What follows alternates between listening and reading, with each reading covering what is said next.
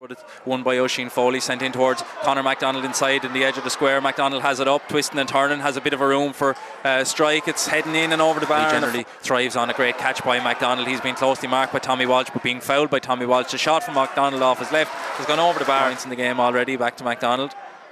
He looks at the post. It's a good looking shot. The crowd are cheering behind it, and the ball is going over the bar.